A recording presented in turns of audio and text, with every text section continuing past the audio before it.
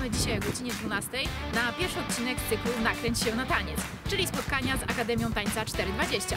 Pierwszy odcinek to wspomnienie z Mistrzostw Polski. Jeżeli macie ochotę zobaczyć, jak wyglądają kulisy turnieju tańca z udziałem tancerzy Akademii Tańca 420, koniecznie bądźcie z nami. Zapraszamy!